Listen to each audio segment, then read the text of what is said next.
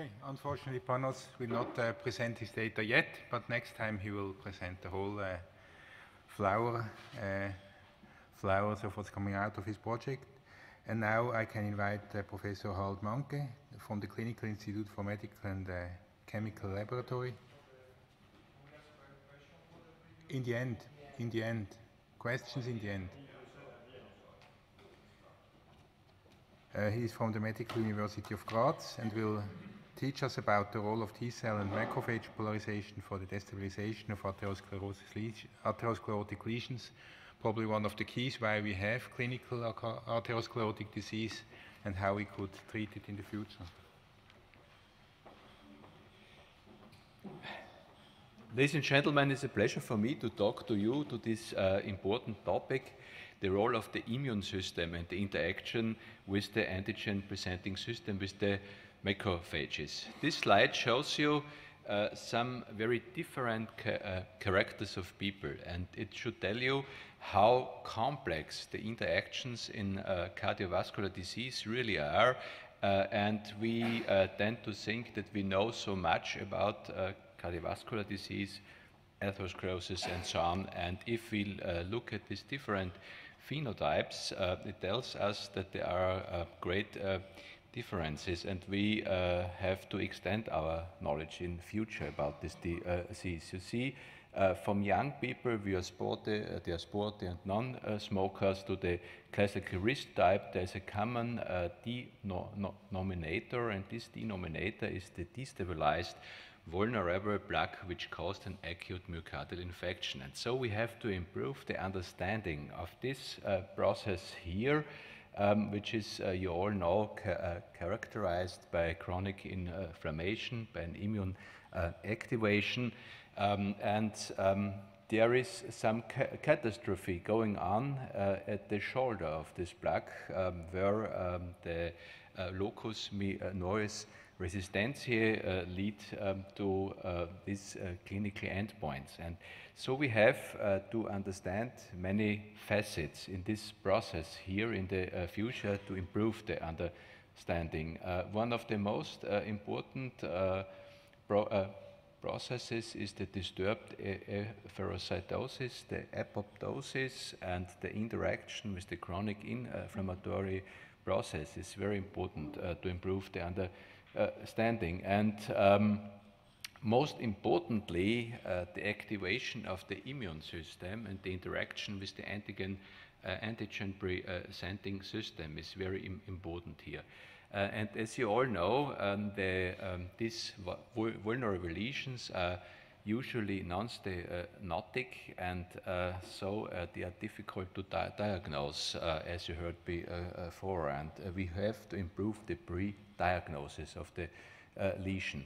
Um, so uh, the initiation and antigen presentation is very important. Um, there are uh, many uh, processes which uh, uh, induce the um, disease. One of the most important, the lipid oxidation and the immune ac activation and the activation of the macrophages, as shown here. Um, all these important uh, daggers of the arterial disease uh, lead to the uh, chronic process, which we have to uh, improve our understanding of it. So uh, monocytes and macrophages are central in the disease. You all know uh, that the polarization of macrophages is is very important um, there are um, very uh, sim simplified sort, the good and the bad ones, the M1 and the M2, but this is far more uh, com uh, complex. Uh, the uh, bleeding uh, into the lesion um, induces the free he hemoglobin, um, haptoglobin M2 subtype, um, and um, this shows a non foamy nature, this subtype, and uh, it is uh, producing anti-inflammatory cytokines. And so uh, the bleeding process is not always um, a bad process. It can also influence the polarization uh, of the macrophages to a more stable occurrence of the inflammatory process. And um, so if we look to the macrophages and to their polarization, we see really a Janus phase.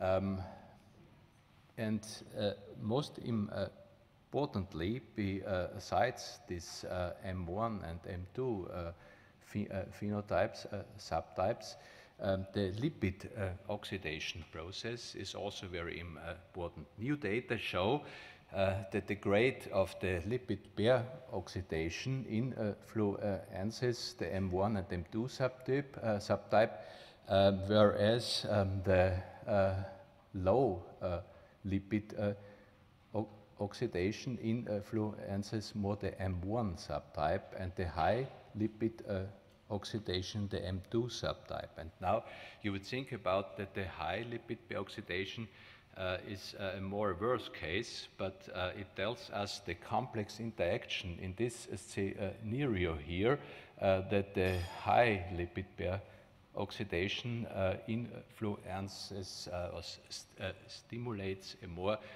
suppressive subtype. And so this simply tells us that we have to improve, Im improve our understanding about these different facets of the process here uh, to uh, this will uh, explain us something that so different phenotypes of people can suffer from a, a decompensated vulnerable atherosclerotic lesion. and in the next part of the story, also the HDL comes into the play. Uh, it in, uh, uh, fa favors, it influences also the polarization of the macrophages, and uh, in this case also the M2 subtype. And uh, so you see the complex interaction between uh, the lipid uh, uh, system and the immune-mediated inflammation in atherosclerosis. there, the interaction between T regulatory cells and dendritic cells is also very important. The polarization of the immune system uh, plays a, a role.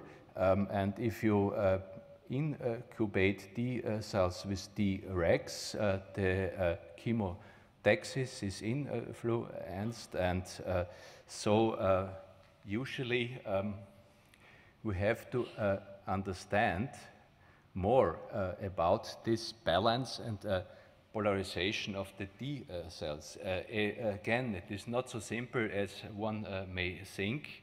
Uh, that only the Th1 are the bad ones and uh, the Th2 are uh, the um, good guys in this play. Um, there is the amplification of the immune response in the draining lymph nodes and spleen, very important.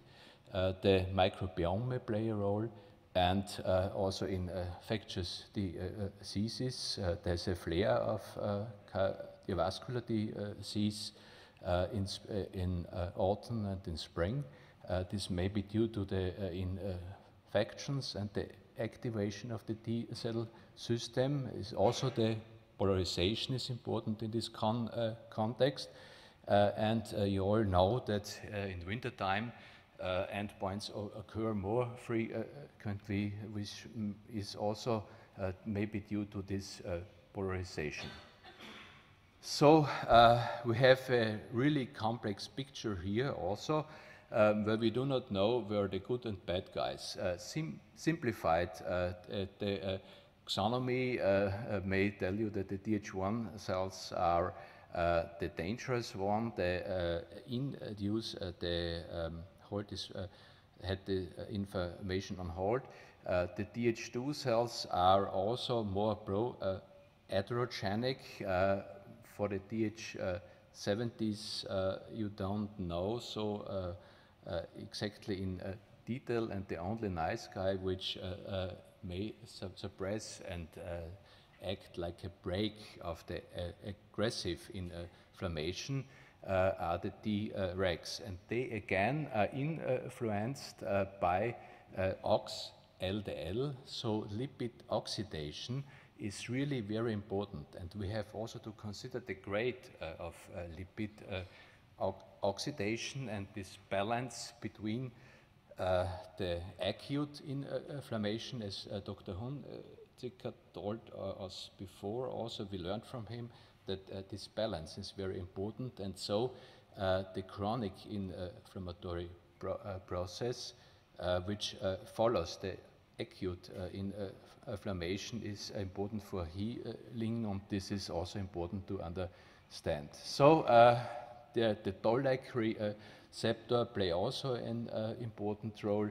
Uh, you all know that the toll-like receptors 2, uh, 4, and 7 are involved in the process, and uh, so uh, there is the uh, innate immune response, innate immune re response, immune system also very important in this con context, but even other markers like trimethylamine oxide, which are due to the lifestyle uh, to um, diet, diet, rich in meat, uh, are involved uh, in the immune activation and in the polarization of the macrophages, and this uh, may also play an important role uh, for the vulnerabilization of the uh, atherosclerotic lesions.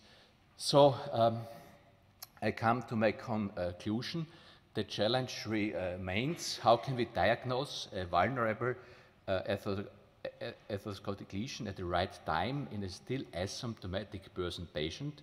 This is, remains a challenge. How to treat this person effectively without side effects, any complication in a yet healthy person is unacceptable. And uh, I'm sure that an improved understanding of the axis between the immune activation and macrophage uh, polarization uh, and also immune system polarization uh, provided by cooperation between nanotechnology, la laboratory me medicine, and radiology may be helpful in this context. Thank you very much.